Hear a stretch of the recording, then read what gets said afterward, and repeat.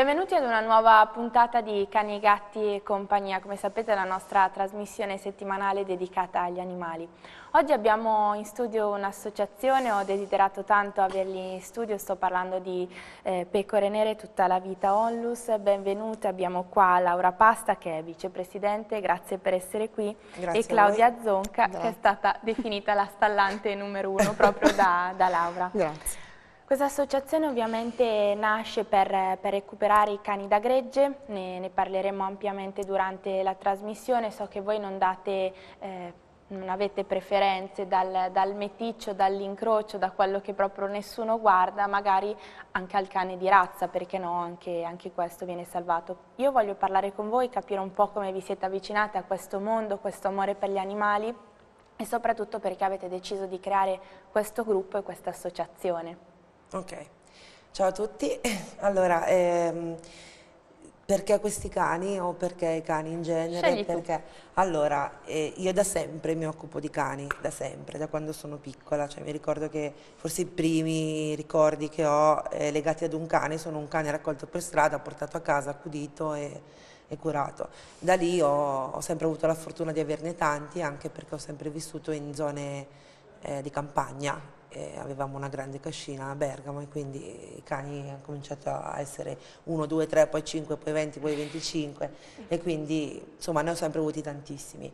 E, intorno ai 16 anni ho iniziato ad andare in canile, eh, ho iniziato appunto ad approcciarmi a, alla realtà di quelli che erano i cani senza casa e ho subito poi cercato di rendermi utile e ho intrapreso un percorso di, di educazione cinofila, sono diventata educatore, poi di seguito istruttore mi sono specializzata in riabilitazione comportamentale e, e niente, dopodiché mi sono approcciata di più e ho preferito un determinato tipo di cane, no? eh, che sono appunto questi cani qui. Eh, cani da gregge, comunemente chiamati, possono essere sia di razza che nonna, dal border collie al pastore australiano, eh, che ne so, al briard, eh, al pastore bergamasco e mix degli stessi. E abbiamo deciso di fondare un'associazione proprio perché, insomma, è sempre la solita storia, nel senso che più si è e più si riesce a fare. Da sola riesci a fare, però non riesci a fare tantissimo. Invece se ti unisci a persone che comunque hanno la tua stessa eh, voglia di fare la tua stessa passione, il tuo voler andare avanti, guardare avanti e fare effettivamente qualcosa di concreto, è necessario fondare qualcosa certo. e unirsi. Ti volevo chiedere, ma questo nome, Pecore Nere, tutta la vita, C'è un significato? Sì, ha un significato. Eh, tanti significati, nel senso che ognuno di noi componenti siamo un po' pecore nere, no? perché siamo un po' pazzoidi, ognuno ha la, la sua, mentalità, andiamo un po' controcorrente. Eh, poi perché si riferisce, è un'associazione che si rivolge a cani che solitamente quasi nessuno vuole, nel senso che in Italia esistono rescue per eh, cani di razza, eh, esistono sicuramente associazioni che si occupano di tutti i tipi di cani, ma no, non esistono associazioni, non esisteva un'associazione che si occupava di questo genere di cani. E siccome le nostre valli eh, bergama, siamo bergamasche, e lavoriamo soprattutto con le valli bergamasche, quindi Valli Magna, Val Brembana, Val Seriana e valli bresciane, eh, specialmente la Val Camonica e un po' anche la Val Trompia, sono piene di questi cani che vengono usati per, per il lavoro sia con, con le mucche che con le capre che con le pecore eh, francamente tanti non capiscono neanche che tipo di incrocio sono, fanno certo. fatica a identificarli e non, non sanno neanche come approcciarsi a questi cani. E poi ci riconosciamo anche un po' in questi cani perché hanno un carattere particolare nonostante siano diversi tra di loro, magari morfologicamente, diciamo che eh, i pastori, perché solitamente noi li ritiriamo proprio da loro, sono cani magari che ne so, fanno la cucciolata, loro ne tengono uno e riusciamo a farci dare gli altri, oppure c'è una femmina che non sta molto bene, oppure secondo loro non lavora più come una volta, riusciamo a ritirarla noi, per il maschio è la stessa identica cosa e quindi sono cani che non hanno una collocazione anche proprio morfologica certo. mh, che, che, tutti possano capire e percepire. E abbiamo deciso di occuparcene noi, c'era certo. uno spazio vuoto, l'abbiamo certo. preso. E prima di, di, capire qualcosa in più di loro, volevo sapere invece Claudia come si è avvicinata a questo mondo, questo, questo amore per gli animali. Allora, io vengo da una famiglia che, di allevatori, quindi sempre allevato animali da reddito e abbiamo sempre ovviamente avuto cani in casa, quindi eh, cani, gatti. Io ho iniziato da sola facendo la volontaria, quindi tutto quello che capitava per strada veniva portato a casa, recuperato e ripiazzato in famiglia quando possibile, fin quando non, non ho scelto di adottare un cane da un canile del sud e ho incontrato una delle volontarie dell'associazione e mi hanno chiesto se avevo il piacere di iniziare a tenere dei cani in stallo e come primo cucciolo ho avuto un cane di razza però con delle problematiche abbastanza importanti. Da lì ho detto un cane, solo un cane per volta, in realtà poi sono diventati sempre di più e diciamo che adesso siamo, io ho numero a casa, sono a 20 cani. Caspita, è un bel Un numero, po' miei, un po' dell'associazione, qualcuno che resta, lei che è una... Ecco, ad esempio, lei che è qui con noi voglia di raccontarci un po' lei della qui... sua storia. Sì, è? lei è Kira, eh, lei viene da una, una, cessione di proprietà, è stata presa da un, da un ragazzo che aveva deciso di prendere un cane, ha trovato questa cucciola da salvare in un'azienda agricola, anche lui, eh, mamma border, e... Eh, fino a quando però si è reso conto che effettivamente con lo spazio che aveva lui, quindi una, una vita in appartamento, il cane stava male e ha deciso poi di, di cederlo a noi eh, chiedendoci appunto di trovare una nuova famiglia e per adesso Diciamo, Molto probabilmente pare rientrerà da te. diventerà un numero in più nella, nella mia. Cosa ti ha colpito? Hai, come mai hai deciso di, di, tenerla? Ma lei è un cane obbediente, è un ha una spiccata attitudine al lavoro, io faccio sheepdog con, un con uno dei cani che ho di proprietà, che però è recuperato anche lui e anche solo con poche lezioni ha dimostrato comunque di essere un buon cane. E con gli altri cani si comporta bene, mi dà una mano con i cuccioli che recuperiamo dall'associazione perché è veramente un ottimo cane e quindi direi che ci sono tutti i presupposti perché rientri anche lei in famiglia. Ecco, hai detto alcune delle qualità di questi cani che è una spiccata intelligenza, un'attitudine al lavoro, sono cani veramente molto determinati, sì. apprendono velocemente. Queste sono un po' le caratteristiche dei cani da gregge. Sì, sì, è uguale. Come preferite? sì, sono eh, cani che hanno appunto queste spiccate attitudini lavorative, quindi ehm, compatibili con un animale che comunque si muove per parecchie ore al giorno, quindi assolutamente sconsigliabile la vita solo in casa. Eh, noi eh, diciamo che i cani che io tengo in stallo, eh, soprattutto se adulti, quasi tutti fanno la prova lavoro, io ovviamente li porto con me nel, con le pecore, quindi si vede su si vede generalmente subito se il cane è portato oppure no, perché ci può essere il cane che in realtà poi non, non è proprio così interessato. Eh, C'è da tenere presente che ovviamente hanno un carattere un po' particolare, quindi bisogna saperli gestire con una certa calma e su questo ovviamente lei è molto più, più brava di me e, e può spiegarvi meglio com'è proprio il rapporto specifico con, cane, con un cane di questo tipo. No, allora semplicemente bisogna prima cosa capire che tipo di cane è, nel senso che essendo meticci, perché chiaramente sono incroci di incroci, eh, spesso ci troviamo di fronte a sì dei cani da gregge ma che possono, che possono, essere o conduttori o guardiani e spesso anche mix dei due. Quindi se tu hai un cane eh, sia conduttore, allora il conduttore non so per fare l'esempio è il classico border collie, no? conduce il gregge ha le sue caratteristiche, sicuramente eh, sono cani che non possono star fermi a lungo, sono cani che vanno impegnati sia mentalmente che fisicamente, eh, sono cani che richiedono un proprietario che assolutamente sappia che cosa vuol dire avere un cane del genere, che abbia tempo, che sia, non dico che deve fare le maratone tutti i giorni e essere ultra mega sportivo, però il poltrone che sta sul divano con le patatine fritte non, non va bene sicuramente per certo. questi cani. Ehm, d'altro canto abbiamo eh, i cani che hanno più sangue, diciamo, tra virgolette, guardiano, mm, mi viene in mente anche se è conduttore, però il pastore bergamasco è anche un, un ottimo guardiano, no? E quindi hanno un carattere un po' più magari ombroso, eh, sono molto schivi con le persone che non conoscono, eh, allertano, nel senso che fanno molta guardia appunto e bisogna stare attenti con persone sconosciute che entrano in casa, insomma in entrambi i casi il proprietario deve essere un proprietario preparato, preparato e, e, e deve sapere che so, solito non basta l'amore con questi cani, ci vuole la conoscenza, perché l'ignoranza purtroppo si paga sempre. È un attimo che un cane del genere parta e morda, quindi bisogna stare davvero attenti e bisogna assolutamente educarli. Noi dal nostro canto eh, il nostro lo facciamo perché comunque non diamo cani così, prima vengono tutti valutati se c'è qualche problema, qualche sorta di aggressività intraspecifica o interspecifica, quindi eh, sia tra cani che tra... Ehm, che con persone, insomma, eh, li, lavoriamo, ci, ci, lavoriamo, ci lavoriamo sopra e, e cerchiamo di portare un equilibrio nel cane. Certo. Semplicemente. Ma è più facile secondo te portare a casa il cucciolo o è più facile portare a casa l'adulto o in entrambi i casi c'è da, da lavorare?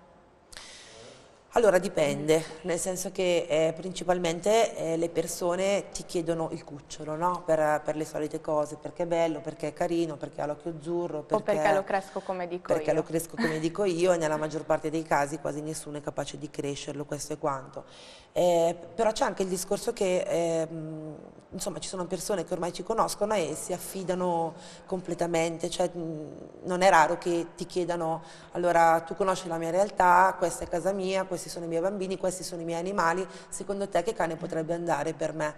Eh, e lì è, è, bellissimo, primo perché ti rendi conto che le persone ti danno fiducia e seconda cosa è bello perché poi eh, non guardare quella che è la semplice estetica, ma concentrarsi più sulla, sulla duttilità del cane, cioè il, il, cane è veramente adatto alla famiglia, anche perché eh, noi non abbiamo nessun tipo di interesse a dar via un cane piuttosto che un altro, quindi mh, mm, è un po' come giocare a Tetris, no? serve l'incastro corretto, proprio quell'elemento per quella condizione, per quell'ambiente, per quella situazione. E cerchiamo di farlo, poi non è che si fa sempre bingo, però insomma si cerca di farlo al meglio. E ovviamente questo avviene tramite anche un, un preaffido, un percorso di conoscenza con la famiglia. Questo preaffido che purtroppo a volte spaventa, ma che in realtà eh, non è che il volontario vuole andare a ficcanasare a casa del, dell'eventuale adottante, vuole soltanto capire, conoscere e comprendere eh, le dinamiche della famiglia. Assolutamente sì, ti dirò però anche che dopo tanti anni, tanti tanti anni, ti basta senza presunzione eh, una telefonata, una bella chiacchierata di un'ora al telefono per capire con chi hai a che fare un po', no? anche perché siamo diventati anche furbi, fai due domandine, lanci, lanci una, so, un argomento e quindi ti rendi subito conto di chi hai di fronte. Poi chiaramente quello che facciamo non è tanto affidarci a qualcun altro che ci faccia il preaffido, eh, avendo appunto stipulato questo, creato questo rapporto empatico con quello che è l'eventuale adottante, eh, andiamo a trovarlo e facciamo noi il preaffido con il cane. Dai, vengo, te lo faccio vedere, certo se non è a 600 km di distanza, altrimenti cerchiamo una via di mezzo, ci vediamo a metà strada, però ecco generalmente preferiamo prendere la macchina, caricare, caricare il cane in macchina e andare direttamente. Quali sono le razze o comunque gli incroci più facili da trovare in questo, in questo momento? Chi vi capita di più? Quelli che ci capitano di più lavorando prettamente con la Valle Camonica, quindi nella zona sopra Brescia, sono cani dal pelo lungo, sono i classici pastori comuni, insomma, sono cani che vengono usati per le vacche, vengono comunemente definiti pastori bergamaschi, ma non sono il classico pastore bergamasco con, con i dread, insomma, sono, sono cani mh, mm, col pelo lungo, di corporatura molto robusta, eh, una tempra alta, un carattere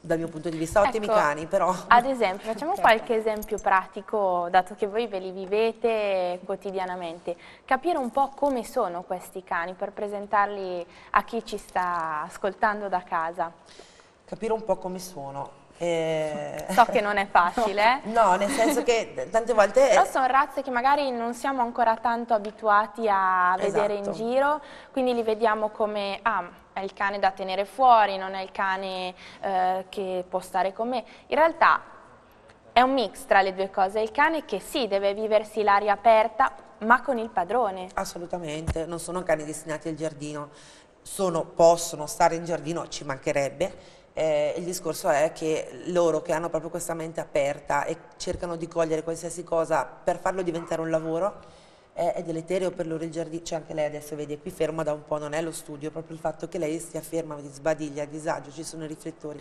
però vabbè. Comunque sono, sono cani che ha, devono fare qualcosa. Se un cane, non so, tipo la Kira, la prendiamo, la mettiamo in un giardino, tanto il giardino è grande, la lasciamo lì H24, o si deprime oppure cercherà di fare qualcosa. La cosa che può fare qual è? Aspettare che passi una macchina, un altro cane, il postino per rincorrerlo.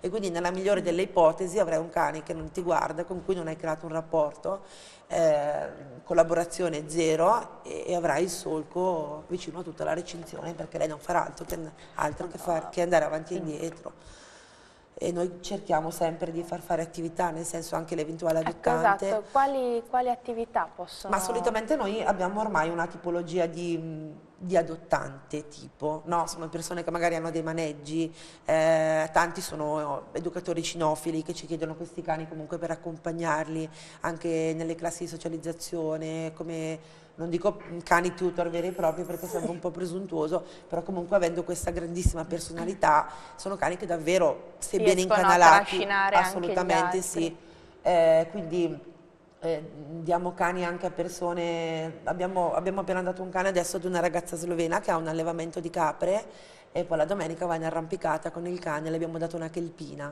una kelpie, un Australian kelpie, un cane da lavoro australiano e, insomma, questo, questa qui è la nostra adozione tipo, sinceramente, perché... Persone quindi che amano stare all'aria aperta. Amano stare all'aria aperta. Magari ovviamente abbiamo tutti un lavoro, non è obbligatorio uscire 10 ore al giorno no, con il cane no, no. tutti i giorni, sono cani che si adattano anche, immagino, alla vita sì più normale di più tutti normale. noi, però sicuramente nel nostro tempo libero, nei nostri fine settimana non dobbiamo prendere il cane, chiuderlo in casa e noi dimenticarci e andare, perché se no sicuramente sono cani che magari tornati a casa ci troviamo il dispetto e il, il, divano morsicato, adesso io non lo so, non, sinceramente non no, ho uno di questi cani, però ecco, sono cani sì. che hanno bisogno di essere stimolati a livello, a livello mentale. Sono cani, da quello che mi dici, che si possono anche portare spesso dietro, sì, anzi forse amano essere con il padrone, viverselo sì, quasi tutto il giorno. Sì, perché se ci pensi, e, e appunto rivolgendoci noi soprattutto a cani di, di questo tipo, quindi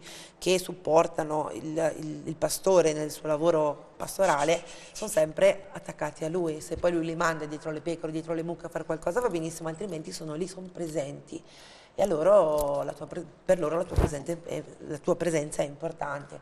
Quindi non è che voglio dire che una persona deve stare a casa dal lavoro certo. per avere questo tipo di cani, però ecco, se una persona lavora 10 ore al giorno o le do magari, non so, una femmina piuttosto anziana, oppure faccio un po' fatica a darlo, francamente. Certo, so che vi capitano anche spesso dei casi di, di cani anziani o microftalmici. Sì. Come mai questo avviene e si possono gestire questi cani? Ok, sì, i cani microftalmici ci sono, si possono gestire, esistono anche cani sordi e mm, possono essere gestiti ovviamente eh, seguendo delle... Mh, mm, delle regole, nel senso che comunque sono sempre, restano cani da lavoro e quindi sono eh, dei cani che comunque hanno sempre questa um, spiccata voglia di muoversi, bisogno di muoversi, eh, hanno, um, riescono a sviluppare un, un fiuto molto più ehm, più marcato e di conseguenza sono in grado anche di muoversi tranquillamente eh, anche da non vedenti.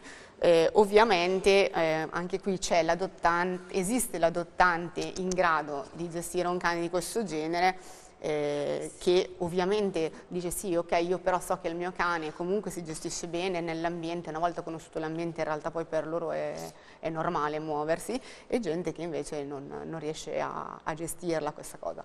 Ovviamente un cane sordo è un po' più difficile da gestire perché magari non lo vedi, non lo riesci a richiamare, impara bisogna imparare, eh, come ho fatto io grazie a lei ehm, e grazie anche e soprattutto ai cani direi, a, ehm, a, imparare a, a mm, a farsi capire con, i gesti, che è una cosa cioè, importantissima perché alla fine non ti senti, quindi dici cosa facciamo, cerca di capirmi e ci si può tranquillamente convivere. Noi li abbiamo, ne abbiamo avuti, eh, sordi, ciechi e anche cieco-sordi, e possono tranquillamente... Sì, esatto, perché ci sono anche dei casi in cui sono sia, sia ciechi, ciechi, che, che sordi. sordi. Eppure io ho visto una mia amica che ha il suo pastore australiano che sia cieco che sordo, è impressionante, non, non te, ne accorgi, no, non, te ne accorgi. non te ne accorgi, sono cani che possono tranquillamente vivere eh, a contatto col, con l'essere umano, ovviamente servono delle accortezze in più, certo. ma sono degli animali che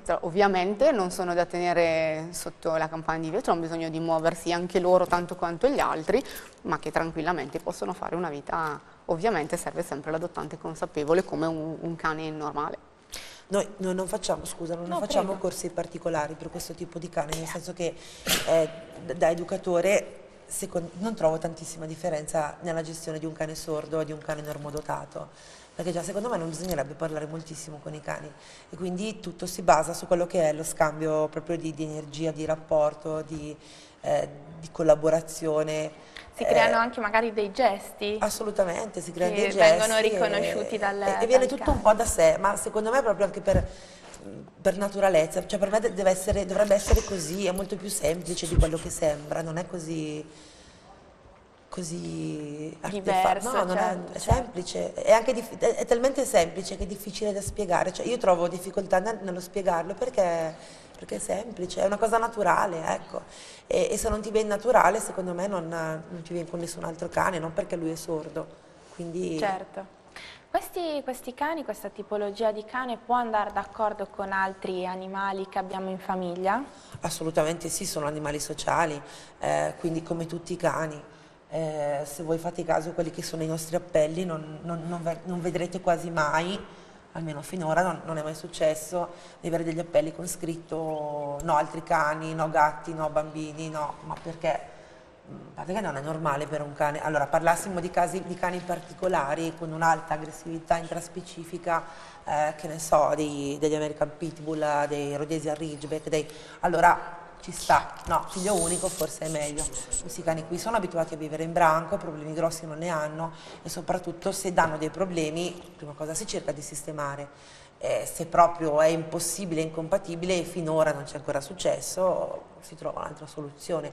Ecco, bisogna stare attenti con uh, i piccoli animali che ormai sono diventati, tipo non so, i conigli, eh, alcune persone hanno i coniglietti in casa o le cavie in casa, però qui stiamo parlando di prede e predatori, quindi mm, bisogna fare anche, attenzione. Fare attenzione. attenzione. Certo. È anche normale che il, i conigli poi si spaventano con un non nulla e, e muoiono anche perché soffrono di questo. Certo. Insomma, è un attimo, certo. io non rischierei mai, poi perché rischiare? Cioè, assolutamente. Regole fondamentali per crescere bene un cucciolo e quando inseriamo a casa un cane adulto. Da dove vuoi? Domande sempre più complesse. Allora, crescere bene un cucciolo. Eh... Di questa razza, in generale, sì, so sì, che è un certo. discorso che può essere anche generale. generale. Allora, eh, quasi tutte le persone cercano di crescere un cucciolo come vogliono loro, sono pochissime quelle che si rivolgono comunque a professionisti del settore della cenofilia, quindi eh, ad un educatore. Eh, io lo consiglio, lo consiglio perché comunque, non perché io sono un educatore, ma perché eh, ognuno deve fare il suo lavoro e se io ho delle incertezze è normale che mi rivolga a chi ne sa un po' più di me, anche perché questi cani essendo così svegli, intelligenti, così veloci nell'apprendere, imparano sì tutto velocemente, ma imparano anche le cose che non dovrebbero imparare. E se non siamo pronti e scaltri come loro, anche a livello proprio ricettivo, mh, a, a, qualsiasi livello, imparano anche le cose che non, non devono imparare. Imparare certo. E quindi io consiglio sempre di, di, rivolgersi, eh, non che per forza debbano fare un percorso educativo, eh, ma anche solo vedersi con un educatore un'oretta, fare una chiacchierata e capire come improntare, due o tre regole per improntare quella che è l'educazione. Esempio, non lo so, posso fare un esempio stupidissimo, un cane che comunque diventerà almeno 20 kg, se già da cucciolo ci salta su, non dobbiamo poi lamentarci quando ha sei mesi abbiamo il bambino di due anni che viene buttato per terra dal cane perché gli salta su. Cioè sono delle robe che secondo me dovrebbero essere dettate dal semplice buonsenso, da nient'altro. Il cane che abbaia molto eh, e noi ogni volta, eh, che ne so, eh, lo stimoliamo anche, ah, hai sentito qualcuno? Chi c'è? Il cane abbaia ancora di più e poi ci accorgiamo che non c'è nessuno e ci lamentiamo perché il cane ha abbaiato. Certo. Poi magari parlando con qualcuno che ne capisce un pochino di più si riesce a far chiarezza e, e noi stessi risultiamo essere un po' più capaci no? nel fare quello che dovremmo fare e poi basta, e consiglio sempre di parlare poco con i cani perché parliamo veramente tanto troppo, li confondiamo, non capiscono più niente, poverini. E... L'adulto invece, quando portiamo a casa un adulto, ci lasciamo forse anche più impietosire perché diciamo poverino, ha già avuto un passato difficile, adesso lo lascio tranquillo, in realtà è proprio l'inserimento iniziale che la, preparerà la strada per il futuro. Assolutamente, l'inserimento è fondamentale, spesso le persone sono molto, eh, tutti lo siamo alla fine, no? certo. un po' certo. romantici, un po' certo. nostalgici, quindi se tu sai che il cane, che ne so, è stato in una stalla legato per due anni, ti dispiace, no? Il problema è che quello che dovremmo pensare è che ormai quella vita è andata, basta, non ci pensiamo più, non ci penserà più neanche lui, dobbiamo prepararlo a quella che è la nuova vita con noi, no? dimenticare le cose brutte e, e focalizzare sulle cose che verranno. Il focalizzare però io non riesco a vederlo senza l'educazione del cane, perché se noi comunque in quello che è eh, il momento iniziale gli diamo un sacco di vizi, non gli diamo regole, non, cioè gli lasciamo fare tutto quello che vuole, è normale che poi avremo dei problemi, soprattutto con questo tipo di cane, perché se è un maltesino che mi dà qualche problema, mi salta addosso, abbaia un po', ma anche solo per assurdo fa la pipì e la pipì di un maltese sono 5 cm quadrati, la pipì di un cane un po' più adulto, insomma non è il caso. Quindi ecco, semplicemente un po' di coerenza. Mm, io consiglio sempre proprio di, di scriverle, di scrivere no? cosa ci si aspetta dal cane, come vorremmo che il nostro cane fosse, perché i proprietari poi te lo scrivono, ma non capiscono cosa dietro bisogna fare per, per arrivare a questi risultati. No? E quando glielo dici dicono, caspita, davvero devo fare questo? Sì perché comunque per avere un determinato cane con una certa educazione bisogna lavorarci, bisogna non è lavorarci. che il cane eh, da solo, poi magari capita anche che il cane con certe persone eh, sia perfetto, in ordine e tutto, arriva da noi, non riusciamo. Sì. In realtà non è il cane eh, che sbaglia, non capisce, siamo noi che non riusciamo a farci capire dal cane, a imporci nella maniera giusta nei confronti del cane. Assolutamente, e però è per questo che è importante la figura dell'educatore, perché eh, sai poi un conto è che l'educatore insegna il tuo cane, però la sua figura deve anche eh, metterti nelle condizioni di fare la stessa cosa che fa lui con il tuo cane. Eh, quindi insomma lavorando insieme si riescono a raggiungere determinati risultati che secondo me per la convivenza sono fondamentali ma anche perché poi se tu fai un buon lavoro con il cane sin da cucciolo, poi non avrai problemi se arriverà un bambino, eh, se ci sarà la persona anziana in casa con il bastone, con la sedia a rotelle, con sai tutte cose che potrebbero creare insomma uno scombussolamento nel cane e portare determinati comportamenti. Se il cane è socializzato, ha le sue regole, sa dove stare, eh, non so, un esempio stupido, no? ad esempio eh, in stallo, a parte dalla Claudia perché non ce n'è bisogno con lei, abituiamo anche i cani a stare ogni tanto un quarto d'ora, 20 minuti nel kennel, nel trasportino, perché comunque poi vanno in auto e in auto bisognerebbe viaggiare col kennel. Ehm, dando cani anche a persone che fanno un po' di corsi, fanno anche dei, dei corsi con noi. Il cane rimane in macchina, il cane rimane in kennel durante eh, durante il lavoro di un altro cane, il cane va a fare ship, eh, se deve stare troppo lì sta in kennel, quindi cerchiamo sempre di di dargli delle regole e di abituarli a quella che sarà la vita futura. Chiaro che devi avere le idee un pochino chiare, devi capire quello che vuoi e portarlo avanti. Ecco, proprio per conoscere meglio questi cani, per cercare di dargli delle, re delle regole fin da quando arrivano sotto, vostro, sotto la vostra associazione, eh, vengono fatti proprio questi cani vengono eh, messi in stallo, il che significa sono eh, temporaneamente in una famiglia in attesa poi di, di trovare la famiglia definitiva. Certo.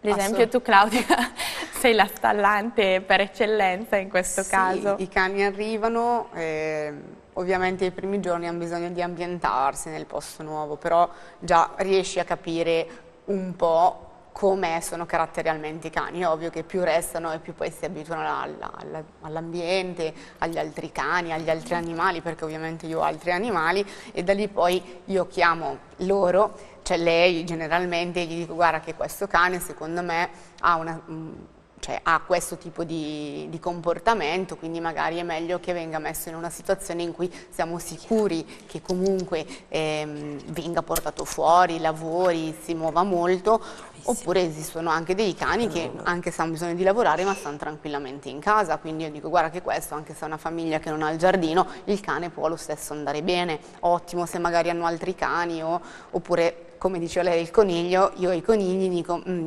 forse è meglio che non abbiano piccoli animali o tartarughine o cose di questo genere perché mm, potrebbero comunque eh, non, non, non, andare non, andare molto certo. d'accordo, non riuscire anche a convivere. Un attimo, anche perché in realtà il cane, cioè, vendi due secondi, il coniglio non lo trovi più. Certo. Poi c'è l'adottante che magari ti dice ecco il, il cane ha fatto questo, il cane non lo voglio più, perché sembra che è colpa del cane, in realtà un istinto è un istinto naturale, poi ci sono dei cani che restano per molto più tempo e quindi anche da lì poi ov ovviamente cerchi di fargli fare un, un, lavoro perché devono trovare comunque qualcosa da fare anche loro, nonostante certo. l'azienda agricola, quindi il posto per muoversi, hanno comunque bisogno di fare altro, quindi poi andiamo a fare usciamo eh, Tutti questi tuoi eventi, che da quello che ho capito non sono tutti tuoi, no. sono una parte tua e una parte di stallo, Convivono tutti insieme? Abbastanza, sì, riescono a convivere, a parte con uno dei, dei miei cani, che è il più anziano, poi sì, sostanzialmente si vivono insieme, stanno fuori tutti insieme,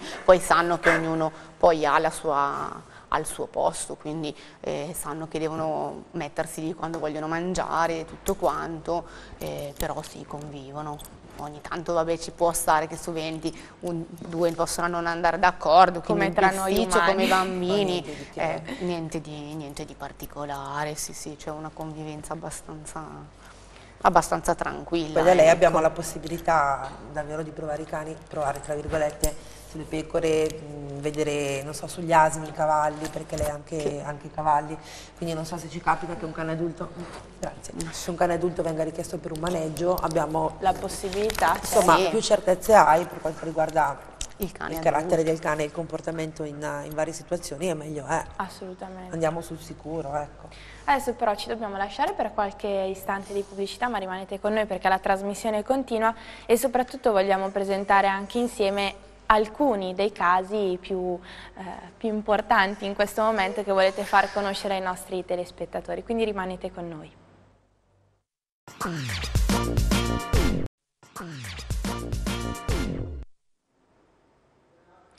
Bentornati con noi in studio, ora ci guardiamo insieme una delle nostre rubriche, l'istruttore risponde con Simona Guidotti, istruttrice cinofila, che ci spiegherà come gestire i nostri animali, i nostri cani quando fanno bisogni in casa e soprattutto ci spiegherà le motivazioni perché a volte questo può capitare.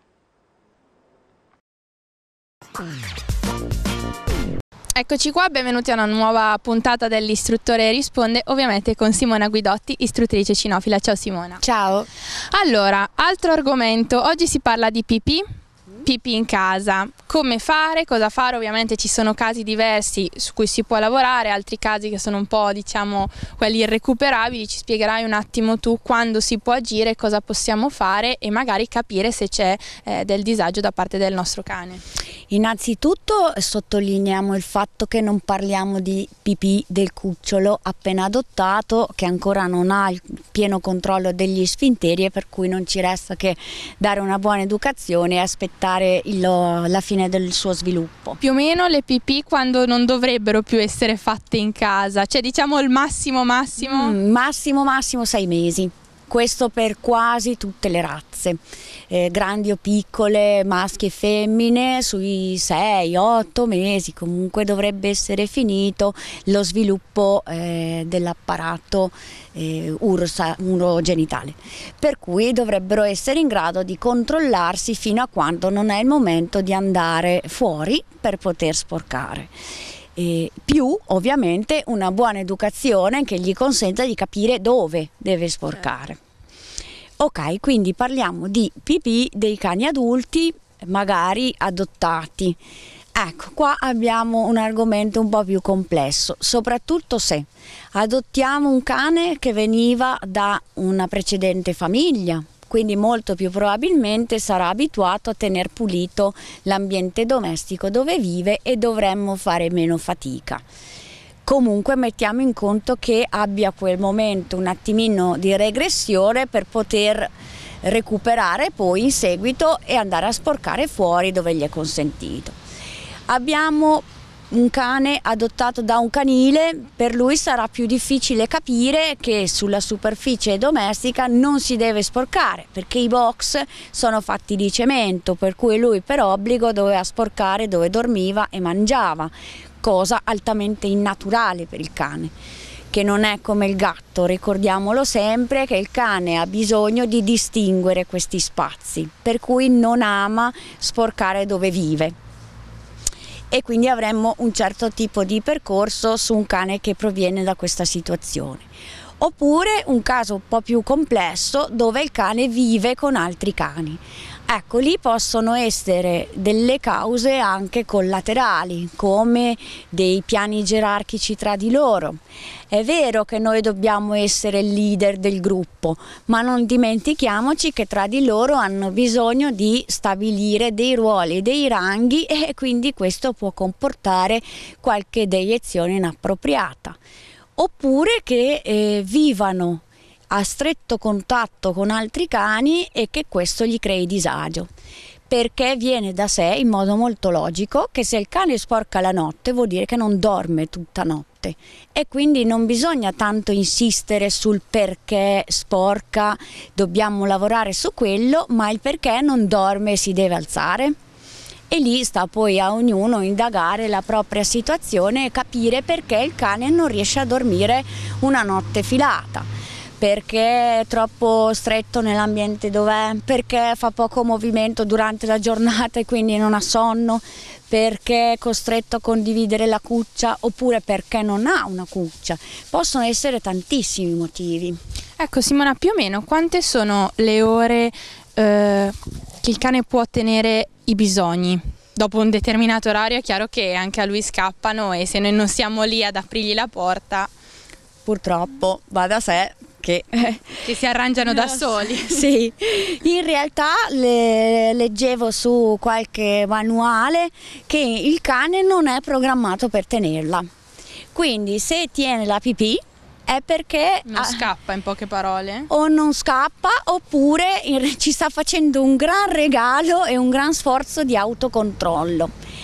E comunque diamo per classiche le 6-8 ore massimo di notte, di giorno può essere anche 4. Perché magari comunque con la luce sono più svegli anche loro sì. e quindi... Sì, esatto, proprio perché sono attivi, perché è giorno, bevono, giocano, magari anche in casa da soli e poi ovviamente scappa la pipì. Ecco, a volte però capitano dei casi in cui noi magari non lo sappiamo, ma il cane ha una malattia e quindi lì eh, bisogna sicuramente andare da un veterinario per cercare di capire o è una cosa che bisogna escludere subito all'inizio.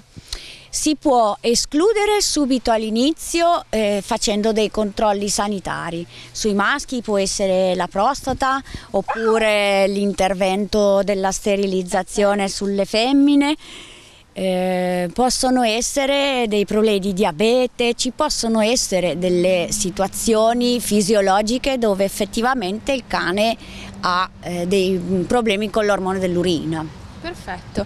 Simona, bene o male l'argomento è esaurito, sicuramente eh, bisogna sempre valutare caso per caso, questo è chiaro, anche per capire solo se c'è un disagio all'interno della famiglia, della casa, cose che noi purtroppo magari che non siamo competenti in materia non riusciamo a capire. Eh, sì, più o meno abbiamo affrontato i punti fondamentali su questo argomento e eh, vorrei soltanto ricordare una cosa, che quando si trova la pipì in casa o comunque sporco non è mai per dispetto, c'è sempre un reale motivo. Benissimo, grazie Simona e noi ci vediamo alla prossima puntata, arrivederci. Arrivederci. Eccoci qua, bentornati in studio, sono con eh, l'associazione Pecore Nere tutta la vita Ollus, vi ricordo che qui con me in studio c'è Laura Pasta che è vicepresidente e Claudia Zonca che è una stallante dell'associazione. Dell allora abbiamo parlato di questi cani, abbiamo capito un po' chi sono, sono cani veramente molto intelligenti, forse non per tutti da quello che abbiamo capito perché ci vuole una certa preparazione o comunque un certo stile di vita. Adesso volevamo guardare insieme alcuni dei vostri casi che in questo cani, che in questo momento stanno cercando casa, quindi magari iniziamo, non so, io per primo qui ho Casper. Casper ce l'ha la Claudia. Cioè, Casper ce l'ho io, è un cane di un anno, è un cane a pelo lungo, Ehm, è un po' timoroso con le persone, va d'accordo con gli altri animali senza nessun problema, ehm, assolutamente un cane tranquillo, non ha nessun Mm, non è un cane litigioso, anzi se vede qualcuno che cerca di bisticciare lui se la squaglia tranquillamente, ehm, non, non, ha grossi problemi, semplicemente appunto deve conoscere anticipatamente la persona che comunque lo, lo, lo gestirà, anche proprio solo per 10-15 minuti, però ha proprio bisogno di incontrarla per il fatto che è comunque un po' timoroso. Un po' però è un ottimo cane, non, non dà problemi, è un, un, un, buon cane. Taglia medio grande? Taglia media 20-22 kg. Media. Taglia media. Lui è l'ultimo sì. di una cucciolata di 9, l'ultimo sì. è rimasto, li abbiamo dati tutti, I anche la madre. I figli, figli di Capè. Bravo, è rimasto lui. Speriamo allora, sì, adesso sì. hai detto più o meno a circa un anno, vero? Eh un sì, anno, un, anno, un, anno, un anno e mezzo indicativamente, sì. Quindi lui è un cane comunque... È un cane di casa, può tranquillamente stare in casa, sta bene anche fuori perché ovviamente ha pelo lungo. Certo. Famiglia eh. ideale secondo te, dato che lo conosci?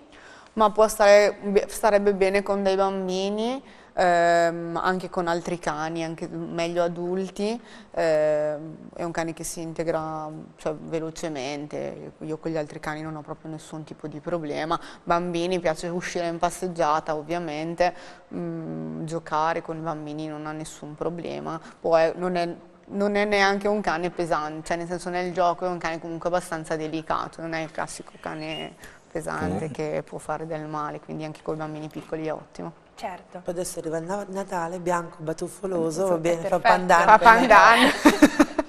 perfetto. Poi abbiamo Giotto. Giotto. Sempre da te? No. no. No, Giotto è su in valle, in, Val, in Val Camonica, lo segue l'altra volontaria che si chiama Silvia. Eh, sicuramente è fuggito da, da, un gregge, nel senso che è stato trovato vacante con una corda legata e non era di certo il cane di qualcuno che lo stava portando a passeggio. È un cane molto, lui ha un anno e mezzo, forse non ci arriva l'anno e mezzo, un anno e qualche mese. È un cane molto molto socievole, eh, il peso siamo sui 23-25 kg.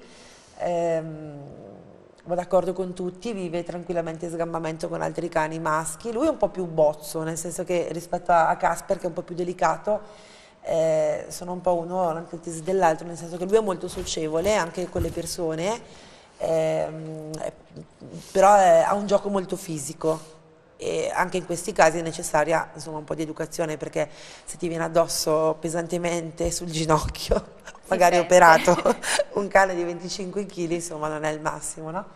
E, e comunque niente, lui è, è, ancora su, è ancora su in valle. Poi abbiamo Ettore. Ettore, anche lui è su, con... Uh, Ettore, io la prima volta che l'ho visto mi sono innamorata, nel senso che mh, se avessi avuto un posto a casa, e non ce l'ho, l'avrei subito portato a casa, è fantastico, non so come fare a... Allora, è, ha, uno sguardo che è, è disarmante secondo me, a, a me pare umano, non, non, è un cane dalle, tra virgolette, tante parole, nel senso che è un cane un po' ermetico, eh, però è dolce al punto giusto, si muove, ha un'espressione posturale particolare, nel senso che non è per niente invadente, eh, è equilibratissimo, è di un equilibrio veramente impressionante. L'ho visto interagire con i cuccioli e anche lì si è comportato in maniera esemplare. Eh, è un po' più alto di Giotto, siamo sui... Beh, arriverà anche a 30 lui forse, un po' più alto e più longilineo e niente, è un bellissimo cane mi piace tanto. Caso, in questo caso secondo te un'eventuale famiglia ideale? È una famiglia sicuramente un po' calma, ma non calma nel senso, calma nei modi, eh? va benissimo anche i bambini, ma come sempre i bambini devono essere educati, perché un cane del genere è il classico cane che quando c'è qualcosa che non va, non fa nulla, però si mette in disparte, sta lì e guarda. È un cane che se non è sicuro non si muove. Serve qualcuno che lo, lo, lo faccia interagire, però nella, in una maniera corretta, Assolutamente, hai parlato di, un, di una cosa molto importante. Sicuramente è giustissimo educare i nostri cani al rapporto con i bambini, bisogna sempre fare attenzione perché comunque sono gli esserini un po' indifesi della, della, famiglia, i bambini a volte non sanno realmente come ci si deve comportare e proprio perché loro non lo sanno siamo noi genitori che dobbiamo spiegarglielo, dobbiamo educarli a, a convivere con loro, a rispettarli. I cani non devono essere, o comunque i gatti, gli animali non devono mai essere un peluche o eh, non devono essere dimenticati con i bambini. Già. Sì, eh, sono, sono, più aspetti secondo me quelli da prendere in considerazione. In primis ragionare, parlare con i bambini e spiegargli determinate cose è molto più semplice che farlo con i genitori. Eh, io sono ormai un po' di anni che vado nelle scuole, sia le scuole materne che che le scuole elementari e, e c'è tantissima apertura da parte dei bambini, quindi dovremmo veramente investire e se siamo in grado di trovare un canale di comunicazione con loro, di dimostrargli quello che si può fare, quello che ti può dare il cane, quello che non bisogna fare con i cani, i bambini lo capiscono e si attengono, i genitori purtroppo spesso no. E, e, quindi non saprei neanche io su chi bisogna investire, no? perché si dice che bisogna investire sulle nuove generazioni, ma forse eh, bisogna investire sui, investire sui genitori per fare in modo che poi i bambini siano diversi.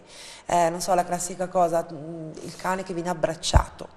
Cane che viene abbracciato, insomma per il cane l'abbraccio è un po' una sorta di costrizione, un'entrata invadente nel proprio spazio vitale, sono tante cose da tenere in considerazione che non lo facciamo, cioè il tatto, il fatto di volerlo per forza toccare, sentire, è una forma egoistica che spesso poi provoca anche delle conseguenze, tante volte catastrofiche e disastrose, insomma.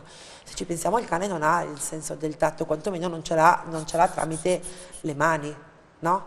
Eh, la prima cosa che io dico ai bambini è di non toccare i cani e se li vogliamo toccare, li dobbiamo toccare, sentiamo il bisogno irrefrenabile di toccarli, lo facciamo in un determinato modo.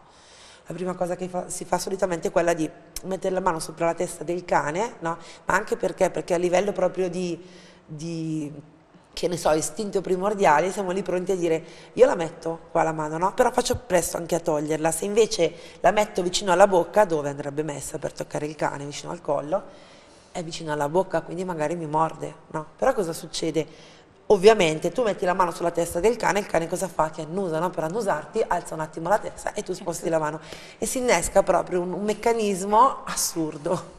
Ecco perché è proprio importante insegnare ai bambini, ma davvero forse di più ai genitori, come fare per approcciare un cane e, insomma, nella maniera come... corretta, esatto. assolutamente.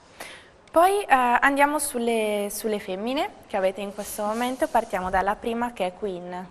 Queen è in stallo da me, e questa diversamente da Casper invece ha un, un carattere un po' più forte, è un cane eh, abbastanza che ha bisogno di muoversi molto, è un cane che va d'accordo con gli altri animali, eh, non ha problemi, cioè nel senso è sicuramente un cane da lavoro, eh, si vede. Il classico cane da mucca il classico, della Valcamonica. Sì, è un cane da lavoro, un cane che ha bisogno di muoversi molto, che però eh, su di lei bisogna stare un, un, po' più attenti, sia nei modi che eh, proprio mh, mm, in come gli si chiedono le cose, perché ehm, non, non, non, è proprio il cane per tutti, lei è un cane proprio per un'adozione un consapevole di persone che comunque tengono il canale aperto e la portano a muoversi molto, perché ha la capacità di, di cambiare umore e di essere un, po' meno, accondiscendente nelle cose, perché se non, non si muove nel, come vuole lei, se non, non è tenuta nel, nelle condizioni in cui decide lei, cioè proprio per, per il cane che è, mh, ha la tendenza di essere molto molto scontrosa. Eh, nonostante sia un ottimo cane, non è mordace, non, non, ha problemi di comportamento con le persone, però ha bisogno di muoversi assolutamente tanto, diversamente invece da Casper che è abbastanza un po' più tranquillo. Poi abbiamo Gaia. Gaia è la figlia di Queen, è in stallo da un'altra nostra eh, attivissima stallante, anche lei educatore ed istruttore cinofilo, la, la Tunza, la zia Tunza. Eh, come vedete è identica alla madre. Quest'anno abbiamo ritirato la madre che la, appunto Queen che aveva appena partorito e è rimasta adesso lei e un altro cucciolo che ormai hanno quasi un anno, hanno dieci mesi più o meno. Eh, lei a differenza della madre, nonostante la, la rappresenti moltissimo fisicamente, è molto più dolce. Eh, lei si vede che è una femmina, quindi insomma eh, fa un po' fatica, un maschio, un maschio mancato. E, um, lei è dolcissima, eh, qui la propensione al lavoro è un po' più bassa rispetto a quella alla madre, nel senso che lei controlla molto meno, è molto più serena, diciamo. Anche l'altra è serena, però è proprio una, una vigilessa. La figlia invece è più, è, più, è più, tranquilla, poi ecco, calcoliamo anche che non ha ancora il carattere formato, non è matura al 100%, non ha neanche un anno, quindi... Ehm, e il fratello è uguale a lei, solo che è beige. Non c'è la foto forse di quello, no. però vabbè. No, perché non me l'avevi... Sì, infatti non te l'avevo data. Ma comunque sono, si possono trovare tutti sì, sulla sì, vostra sì, sulla pagina, pagina Facebook. Pecore Nere, tutta la vita Olls.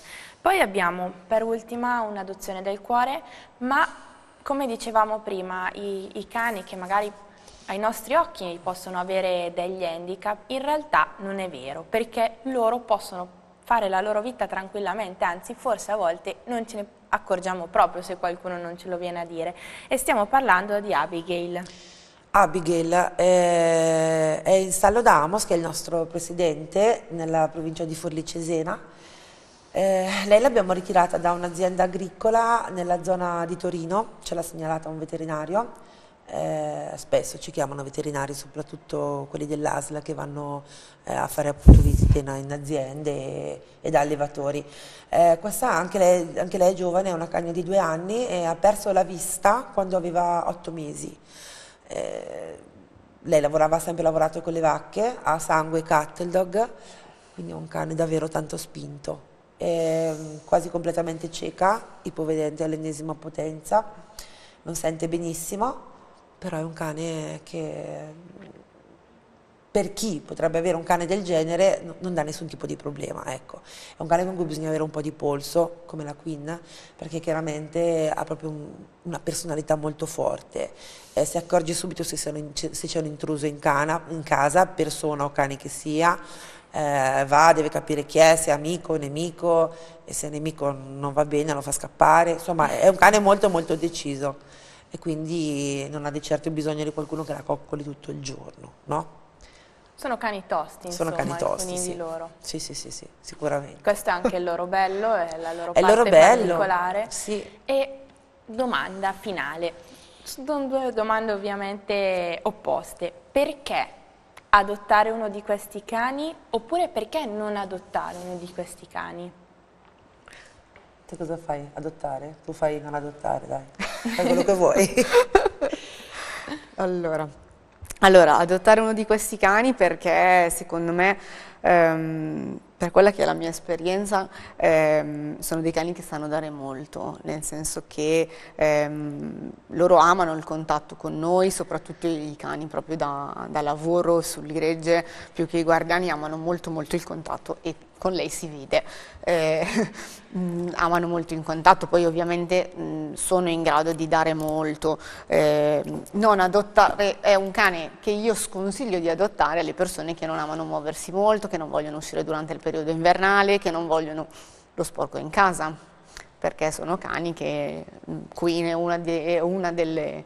Mh, che, di quelle che meglio riporta questa cosa loro, e anche lei, loro amano fare il bagno anche durante il periodo invernale con la neve, se non trovano, se non trovano la piscina eh, il fango è la cosa migliore, quindi eh, se, uno non vuole passare la sua giornata a pulire il cane, a pulire casa perché oh mamma mia è un cane assolutamente da non prendere però se si vuole divertire, piace stare fuori e quant'altro, allora ottimo, è un cane ottimo, un cane, sono cani instancabili, cioè sono cani che veramente possono stare in giro ore e ore e ore senza dire oh mamma sono stanco, cioè proprio direi che non, non c'è altra cosa, certo non puoi stare in casa, non puoi pensare di stare mezza domenica sul divano perché ti dico loro di alzarsi.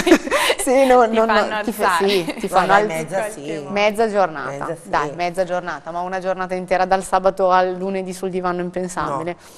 No. Cioè, te, dopo due ore sul divano ti dicono, mm, iniziano a dire no, non siamo tanto d'accordo. Andiamo a fare un Andiamo giro. a fare un piove, nevica, qualsiasi, non, insomma. Uscirebbero sempre. Uscirebbero sempre. Sì, sì, sì sono veri cani, insomma, non sì. sono i cani magari moderni che sono un po' eh, trasformati in no. cani da divano, da casa e poi è giusto che ci siano anche quelli, perché come ah, dicevate voi ci, ci, sono persone diverse, sì, famiglie diverse, quindi è giusto che ci siano anche quei cani.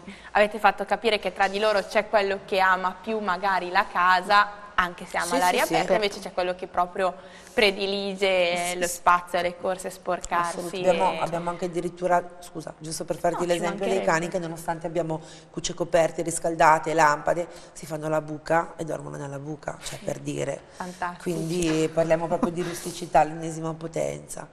Eh, e, e, e, a me è questo che, che mi piace, no? è un po' un back to basic, diciamo, un po' come sono io, quindi mi, mi, ci trovo, anche perché sarebbe incoerente per me, che ne so, avere...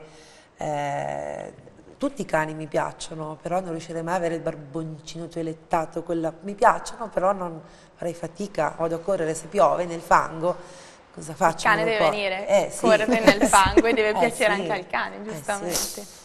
Secondo te, velocemente? Eh, secondo me, eh, già io non darei un cane a tutti, un cane qualsiasi a tutti, figuriamoci un cane di questi, o che sia un border, o un australian, o comunque un cane, un cane da gregge in genere.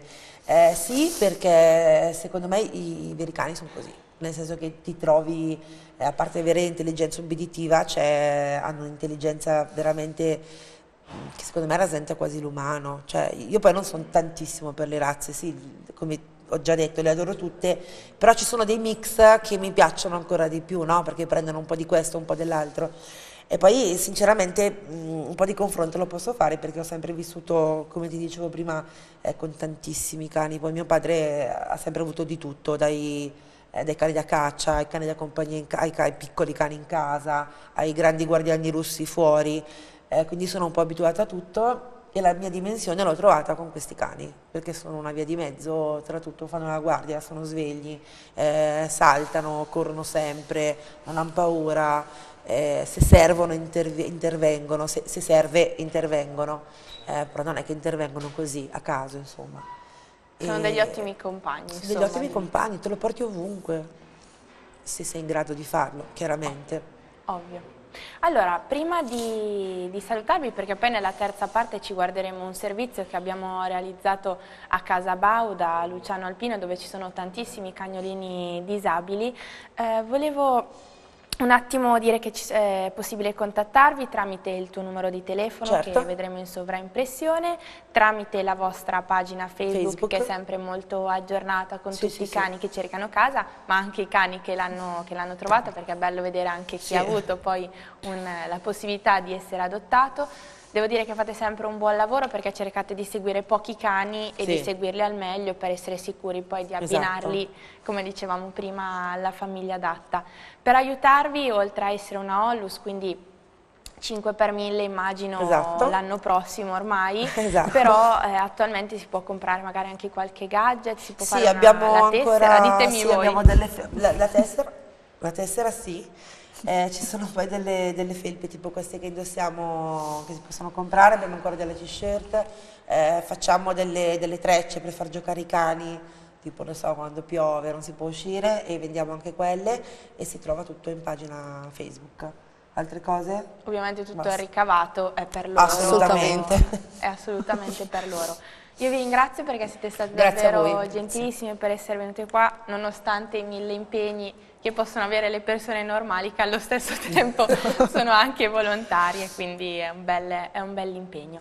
Complimenti, continuate così, Grazie. salutiamo Grazie. i nostri telespettatori ma mi raccomando rimanete con noi perché nella terza parte appunto ci sarà un bellissimo servizio dedicato a Luciano Alpino, questa persona che ha dedicato, ha cambiato la sua vita radicalmente, l'ha dedicata a questi cani, cagnolini disabili che tanti purtroppo decidono di sopprimere, in realtà lui crea questi carrellini, li aiuta, li stende, li spreme perché alcuni non riescono a fare i propri bisogni in autonomia.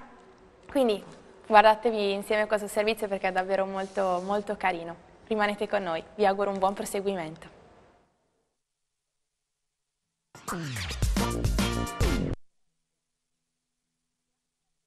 Mm.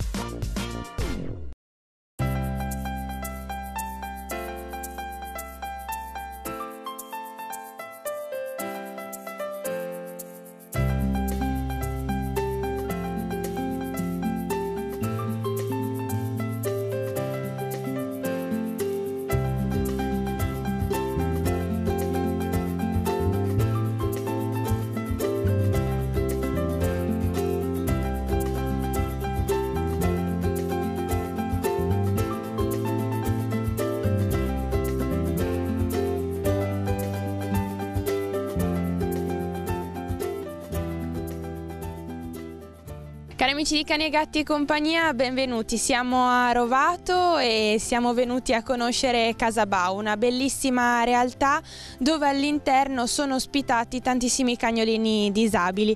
E qui con me c'è il presidente che è Luciano Alpino. Ciao Luciano e grazie. Ciao, buongiorno a voi, grazie a voi.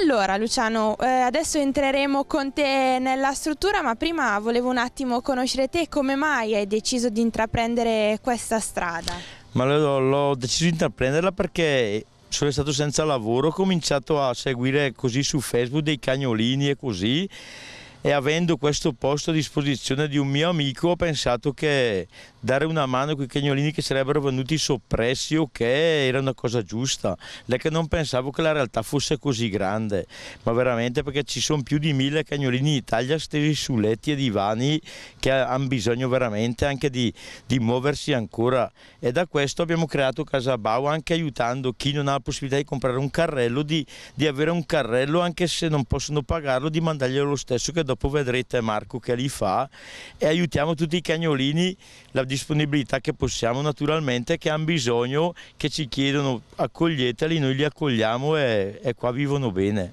Ecco, so che una cosa che ci tieni tanto a precisare è che vuoi mantenere un certo numero di cani per poterli seguire al meglio. Sì, dobbiamo, non possiamo superare una quantità di cani perché anche c'è un fatto, la ALS ha detto sono problematici e devono essere seguiti bene e poi se io dovrei dire il posto dopo vedrete c'è potrei dire ne ho qua 50, ma è inutile che io tengo 50 cani perché loro vanno spremuti per fare la pipì, vanno seguiti, curati, messe le creme, tutto è inutile avere un come un canile. Noi abbiamo creato Casa Ba appositamente per curarli veramente e rimetterli in adozione amati come se fossero dei cagnolini normali anche se loro vi dico la verità hanno una marcia in più credetemi io quando apro questo cancello che vedo questi cani mi viene un nodo alla gola perché io li ho salvati li ho salvati Ecco, tantissime persone purtroppo quando capita di trovare un cagnolino paralizzato, un cagnolino che magari nasce già paralizzato,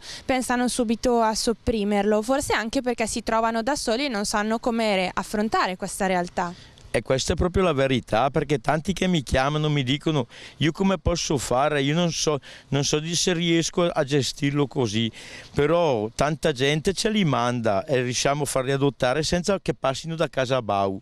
Però tanti riusciamo a fargli capire che a loro non cambia niente perché hanno la possibilità di avere un pochino di giardino per farli sgambare con un carrello e gli insegniamo come curarli un po' siamo riusciti a capire che loro li tengono, li amano ancora di più. È questo che abbiamo voluto creare veramente noi, di far capire che un cane, anche se non cammina più, non è da sopprimere mai, mai perché loro sono come gli altri, anzi hanno più bisogno ancora di amore. E ci siamo accorti che la gente comincia a capire questa cosa, per noi è una grande felicità. Ecco, adesso Luciano noi ti seguiremo anche perché potremo rubarti qualche piccolo segreto anche per insegnare alle persone che ci seguono da casa a gestire questi cani. Quindi ti ti seguiamo. Prego.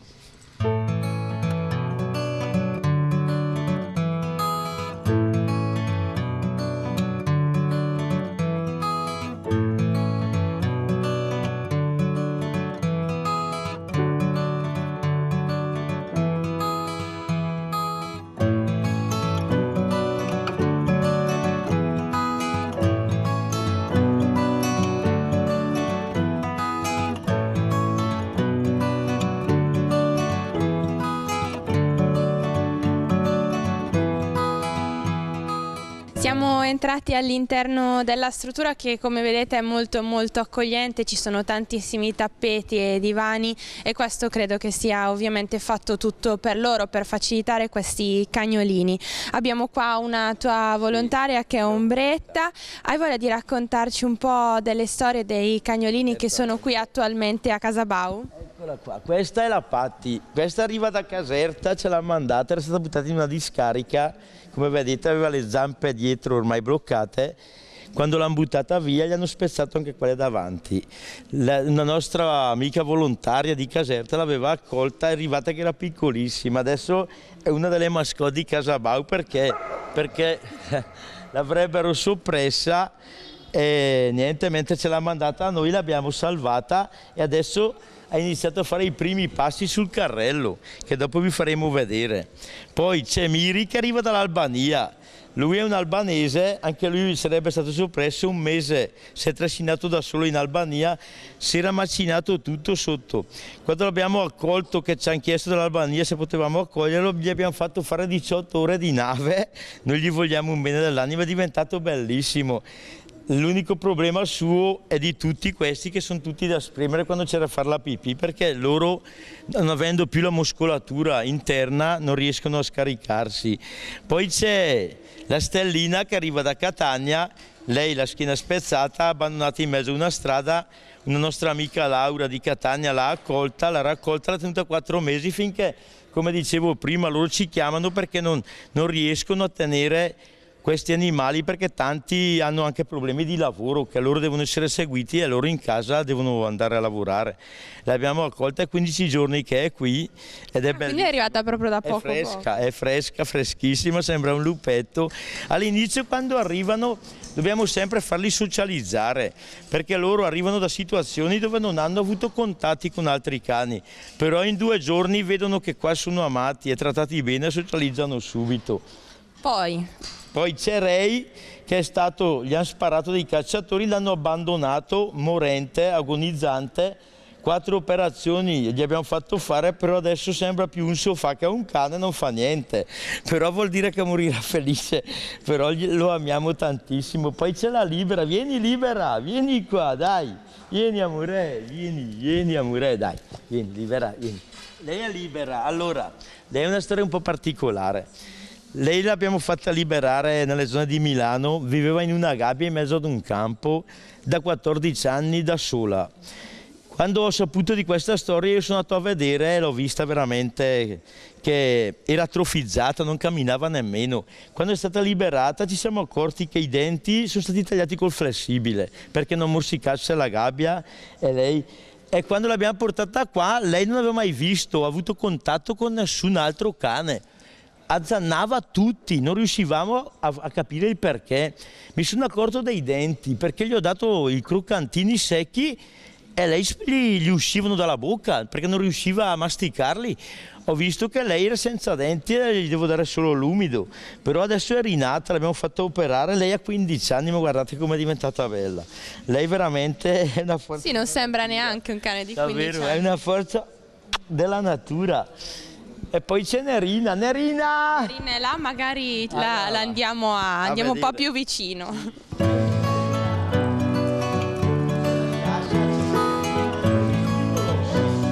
Esatto. Ecco, lei è Nerina. Questa è Nerina, adesso lei viene anche lei da Foggia, era stata abbandonata fuori da una discarica, aveva dei cuccioli, era bellissimo questo cane, ho visto dei filmati con i suoi cuccioli, anche se viveva fuori da una discarica, lei era felice perché aveva tutti i suoi piccoli vicino. Veniva usata come fattrice, i cuccioli da come ho saputo venivano usati per i combattimenti perché lei è un corso puro. Cos'è successo? Che l'hanno schiacciata anche con un cassone di un camion, è tutta paralizzata sulla destra ormai, è tutta paralizzata, lei si sta mangiando via questa zampa perché sa che è inutilizzabile per lei. Allora noi, adesso la cosa più bella di Nerina è che gli ha trovato una casa a Savona che partirà lunedì, andrà a vivere con un altro corso uguale che ha anche lui tre gambe, libera un attimo. E lei adesso gli taglieremo anche lei la spalla, anche lei diventerà a tre zampe, però siamo sicuri che dopo sarà anche lei più felice perché per lei ormai è inutilizzabile. Ed un cane come un corso, come questi molossi, quando si accorgono che hanno una parte inutilizzabile tentano ad eliminarsela da sola. Però guardate, guardate che bella che è la nerina. è un amore questo cane, è un amore. Ecco Luciano, proprio come hai detto te, a volte mh, mm, ci sembra più crudele, ma forse perché pensiamo a noi umani a, sì. a eliminare l'arto, quello che non, sì. loro non riescono più a utilizzare. In realtà realtà, come hai detto tu, è un beneficio per loro per sì, è un beneficio, fai una cosa bella per loro, anche se per noi sembra crudele tante volte, ma per loro gli dai quella soddisfazione, gli ridai quella carica di poter correre anche a tre zampe, perché loro corrono a tre zampe, perché lei anche adesso corre, però ha sempre questa zampa che ormai lei si trascina. Le dà fastidio. Si trascina completamente.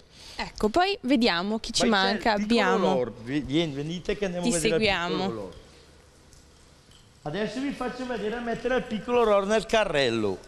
Piccolo Ror, lui è arrivato da lui, lui quindi è arrivato anche lui da poco? Lui è arrivato da poco, ha quattro vertebre spezzate, è stato trovato abbandonato, ormai stava morendo, però lui è uno di quelli più critici che abbiamo qui, perché adesso vedrete, però abbiamo visto che lui sta rinascendo qua da noi, sta rinascendo questo bellissimo cagnolino, lui è incontinente. Eccolo qui. Quindi c'è chi deve essere spremuto, sì, ma c'è anche sì, chi sì. è incontinente. Questo è incontinente, questo è seguito tantissimo da chi ce l'ha portato e niente, lui ha bisogno veramente di tanto amore, è difficile, lui è, un cane veramente difficile che tutti mi hanno anche detto ma come mai non gli fai una puntura, ma io non gli farò mai una puntura, piuttosto lo farò vivere abbracciandolo tutti i giorni, ma mai, mai. Ecco, quindi eh, questi cani hanno anche un momento, una sorta di riabilitazione quando arrivano qua. Gli insegnate a mettere il carrellino. Adesso ti lasciamo e poi commentiamo insieme. Con Marco, ecco qua, vieni pure, vieni qua già, dai dentro qui, che lui non, mai, non è mai andato, ecco. Ok. Ok, eccolo qui. Ecco qui. Lui non è uno che corre tanto, però cosa succede? Lui comincia a stare in piedi da solo, una cosa che non aveva mai fatto. Lui fa i suoi passi, piccoli un po' alla volta, vedi le contrazioni che lui ha del corpo. Eh, sono un grosso problema, però ecco, dai, vieni Lord, to, vieni, dammi un biscotto.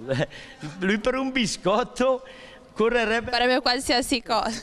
Eccolo lì, vedete? Vedete il suo...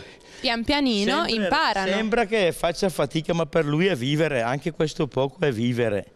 Adesso vi faccio vedere l'ombretta che gli, gli, da, gli, fa vedere un biscotto, guardate i salti che fa. Quindi questa è tutta riabilitazione, insegnargli sì, piano piano. Sì, sì tu ti vedi che anche la Patti sta arrivando, arriva. che si trascina, anche lei adesso la mettiamo sul carrello che vi farò vedere, vede però loro riescono a capire che possono muoversi, che possono muoversi, guardate la Patti che roba.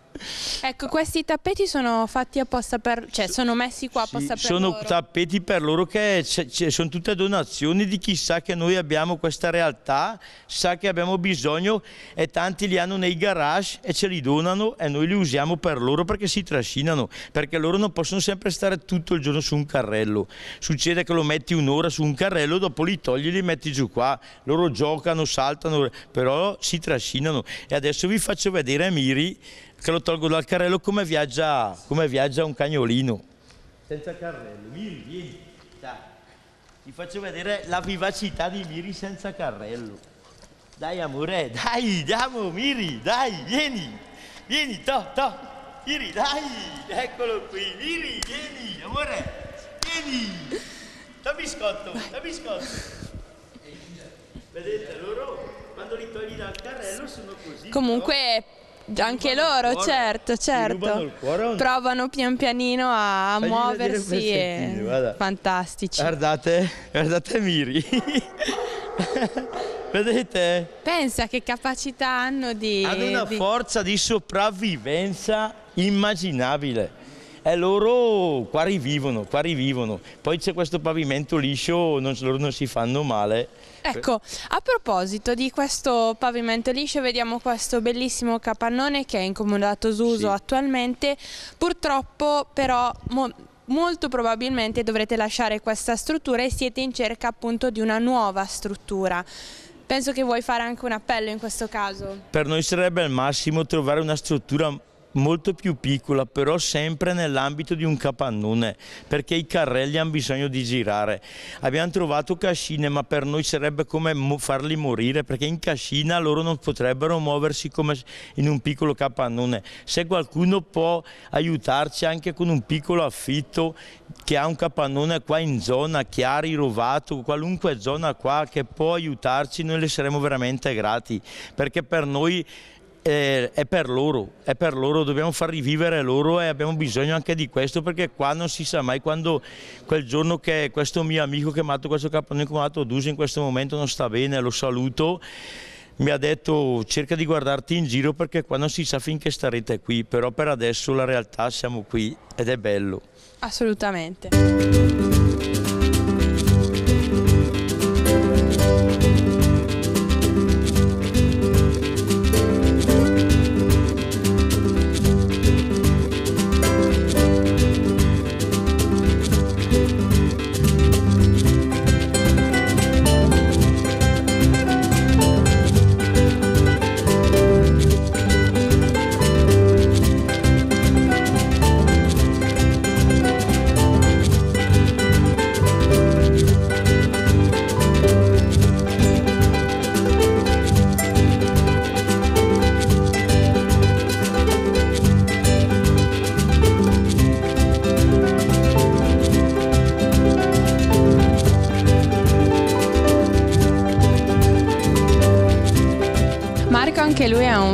Volontario di, di Casa Bau ed è l'addetto alla costruzione dei carrellini.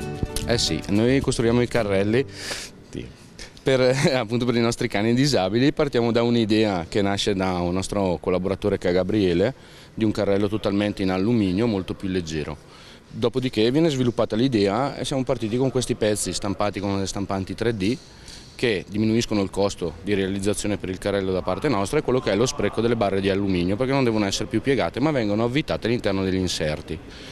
Dopodiché nella realizzazione dei nostri carrelli il materiale che ricerchiamo, che ci serve è il neoprene che di solito si usa per la coibentazione e tubatura degli impianti di condizionamento che lo utilizziamo per fare i supporti delle gambe e del collo del cane e delle zampe e poi arriviamo a quello che sono le ruote. La nostra grande um, difficoltà è riuscire a trovare le ruote adatte per questi carrelli.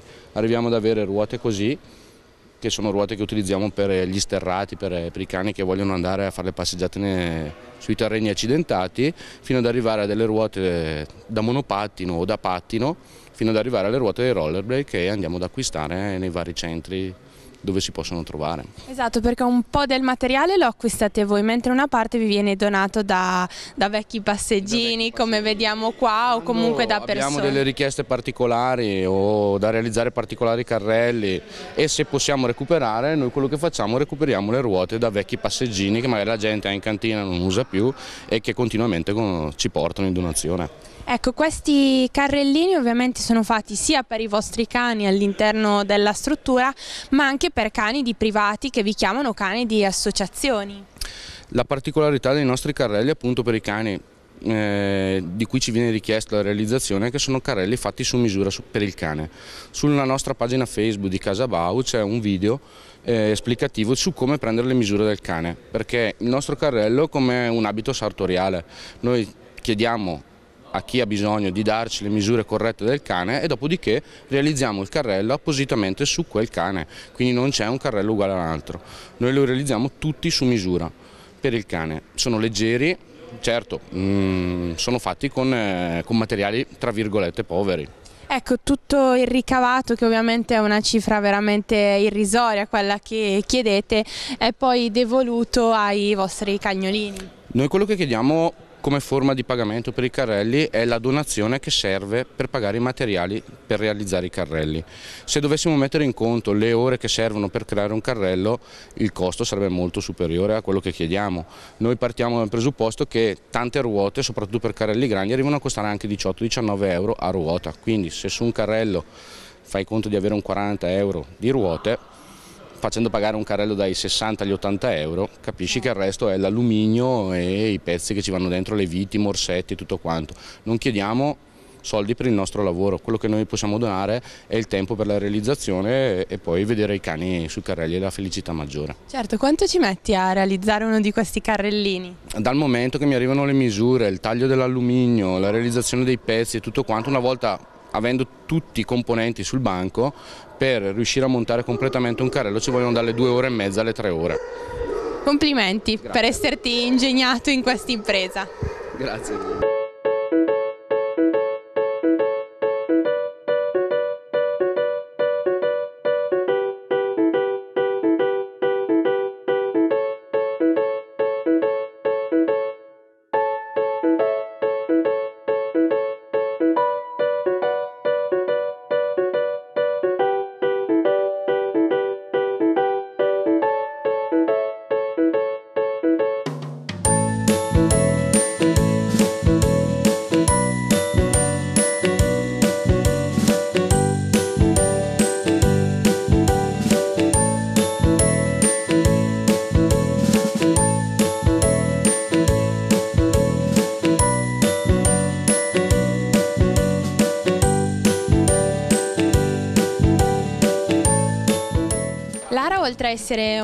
Volontaria dà anche una grossa mano proprio per quanto riguarda i carrellini, cioè sei l'addetta alle spedizioni. Sì, esatto, con eh, mio figlio ha un negozio in Sesto San Giovanni, la Bici del Cane, dove è una toilettatura e noi siamo molto attivi in Sesto San Giovanni con il volontariato e appunto avendo conosciuto Luciano diamo una mano con le spedizioni di, dei carrellini in tutta Italia, chi fa richiesta del, del carrellino noi eh, ci occupiamo della spedizione, facciamo passare il corriere e consegniamo tutti i carrellini in tutta Italia. Ecco, magari può sembrare una cosa minima, in realtà è un grosso aiuto anche perché dicevi che sono veramente tanti i carrellini che vengono spediti. Sì, sì, all'inizio, poi con il boom dell'inizio dell'attività eh, spedivamo anche un 10-15 carrellini a settimana. Eh, in realtà poi adesso per fortuna diciamo perché vuol dire che ci sono meno cani che ne hanno necessità, ne spediamo di meno, però comunque ogni settimana sui 5-6 carrellini vengono spediti. Ecco, spedizioni quindi in tutta Italia, è possibile ricevere questi carrellini? Assolutamente sì, c'è la pagina Facebook dove si fa la richiesta dei carrellini, vengono chieste le misure dei cani e poi vengono fatti da Marco, i carrellini vengono costruiti da Marco e noi pensiamo alla spedizione, quando mi dicono che il carrellino è pronto noi pensiamo alla spedizione. Ecco, tu sei appunto volontario volontaria come ho detto all'inizio, come hai fatto a conoscere questa realtà e soprattutto cosa ti ha dato questa realtà? Ma come ripeto io eh, sono attiva nel volontariato da tantissimi anni e quindi con, tramite Facebook eh, sono venuta in contatto con Luciano, io poi sono originaria di Brescia anche se abito a Milano, eh, quindi sono venuta in contatto con Luciano, abbiamo avuto sinceramente al momento non mi ricordo quale però un'emergenza perché ce ne sono tante di emergenze con la quale abbiamo interfacciato, abbiamo collaborato e da lì è nata la collaborazione perché è una realtà che veramente ce ne sono poche, se non l'unica in Italia e di conseguenza vogliamo dare la nostra mano in questo modo. Ecco, tanti si spaventerebbero, poverini, questi cani, come fanno, come non fanno. In realtà, l'abbiamo detto, hanno una grandissima forza. Assolutamente sì, sono cani che hanno bisogno di maggior cura naturalmente, ma sono cani che comunque danno molto amore e comunque possono avere una vita diciamo quasi normale. Sicuramente non sono per tutte le famiglie perché comunque hanno bisogno di persone che gli stanno dietro 24 ore su 24, però sicuramente chi ha la possibilità e chi ama i cani può tranquillamente averne uno in casa, avendo le, le istruzioni necessarie per poterli curare nel modo giusto. Certo, tu quando vieni qua ad esempio cosa fai? Io soprattutto aiuto per quanto riguarda, visto che è stata creata la ONLUS, aiuto per la parte amministrativa, eh, perché purtroppo, purtroppo C'è anche questo aspetto. esatto, però lavorando posso venire venire solo di sabato e di domenica e, o quando magari sono in giro passo a trovare, eh, però la, la, mia, la, mia, cosa maggiore, diciamo il mio aiuto maggiore è appunto la parte burocratica che comunque serve anche quella. Eh, purtroppo è anche molto lunga la parte burocratica. Benissimo, ti faccio i miei complimenti. Grazie mille.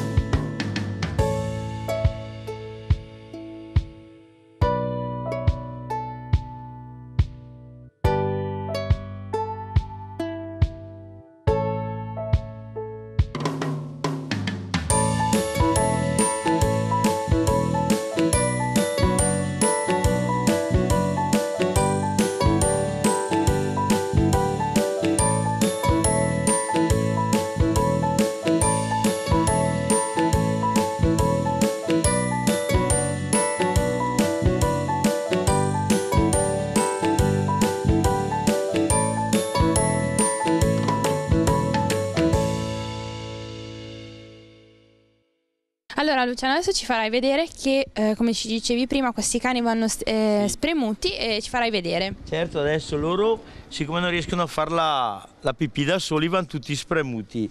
Allora vengono sempre presi dietro, adesso vi faccio vedere.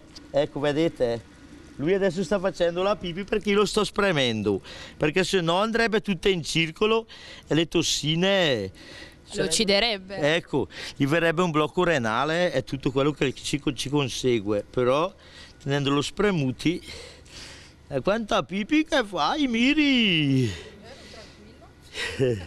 Ovviamente loro si fanno tranquillamente spremere, imparano. Lo sanno perché si sentono meglio. Ormai vedi come sta fermo, perché lo sanno che lo sto spremendo per la pipi, buon. Ok. Ecco, un'altra cosa che, che, ci dicevi appunto per far capire la sensibilità di questi animali, la tua Amstaff, che lei è proprio la tua, che ti segue a casa, eccetera, non ha mai aggredito uno di questi cani perché proprio ci facevi capire che loro sanno, c'è rispetto. La sensibilità di un animale, io voglio dirlo, è molto più di quella di tanti umani, perché un Amstaff che viene dalla famiglia dei Pitbull è un molosso d'attacco.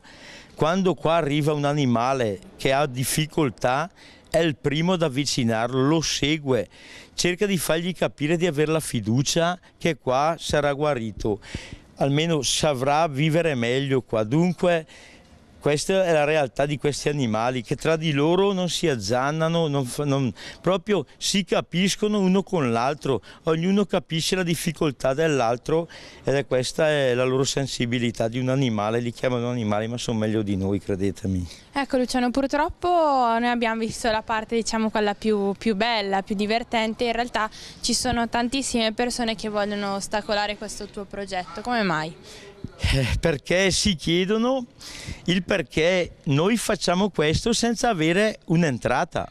Perché noi non, non abbiamo un'entrata, noi viviamo di offerte della gente che viene qua, qua viene tantissima gente, però noi abbiamo anche mandato fuori da qua gente che voleva essere protagonista. Quando c'era qualcuno di famoso, perché qua ci vengono delle persone famose di Mediaset e di così, succedeva cosa? Che arrivavano qua con tacchi da 12, pettinati bene e vestiti dalla festa, mentre i protagonisti qua sono solamente loro e saranno sempre loro, non i protagonisti chi viene qua perché c'è qualcuno di famoso. E queste persone ancora oggi stanno chiamando qua a destra e a sinistra sinistra per farci mandarci gente a controllare questa cosa, ma noi le porte come vedete sono sempre aperte, la felicità dentro di loro, anche la ALS vede come sono trattati abbiamo sempre la, la, la, positività anche da tutti gli altri che ci conoscono, tutto qua. Ecco Luciano, c'è anche un progetto che, che, ci tenevi a portare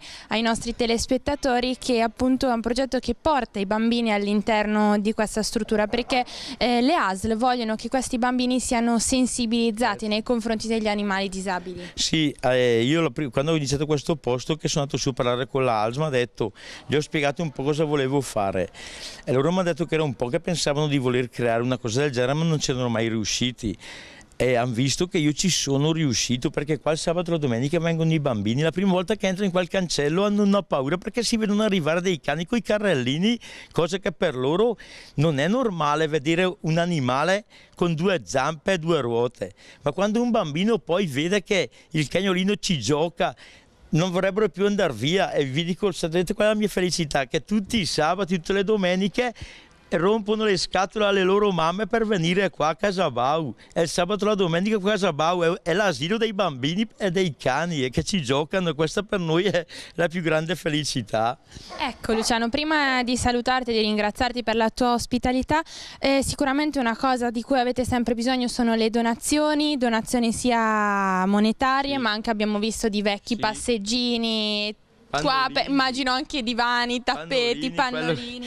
Quello... Di tu proprio quello, se hai qualche appello da lanciare, se hai bisogno di qualcosa. Chi ha tappeti che ha nei garage, dei monopattini, quelli in linea per le rotelline per i carrellini, chi ha del materiale, chi ha pannolini. Noi, a, a, a noi servono tutte queste cose perché loro avete visto, hanno bisogno solamente di questo e tutti i giorni hanno un pannolino o due da cambiare, delle coperte da cambiare, bisogna lavarli.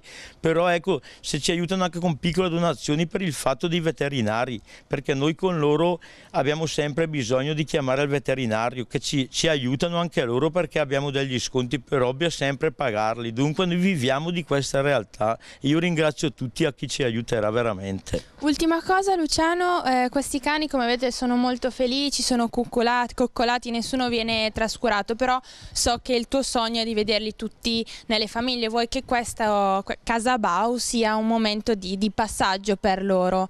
C'è qualcuno che vuole lanciare un appello particolare? Sono tutti in adozione? Allora, Casa Bau è una casa dove loro vengono accolti per non essere soppressi e noi dopo gli ritroviamo la famiglia. Come la Nerina, eh, adesso non la vedo più, alla Nerina lunedì andrà a Savona. Il corso, il corso lunedì andrà a Savona ci sono degli altri che sono già stati tutti adottati. Ecco, chi veramente ama gli animali non deve andare a comprare gli animali, perché ci sono i canili pieni e poi ci sono le strutture come le nostre, anche se loro sono sgangherati, perché io li chiamo i miei sgangherati, ragazzi, accogliete sempre questi animali, questi sempre, sempre. Ti ringrazio. Benissimo Luciano, io ti ringrazio tanto, ringrazio te e i tuoi volontari per quello che fate, sicuramente saremo ancora qui di nuovo a rompervi le scatole, vi verremo a trovare di nuovo. avervi sempre qua veramente. Ci scherzo, anche per noi è stato molto un piacere, ti faccio i complimenti e salutiamo i nostri telespettatori, Ciao arrivederci. a tutti, vi aspetto a Casabau, qua le porte sono sempre aperte, sempre, grazie a tutti.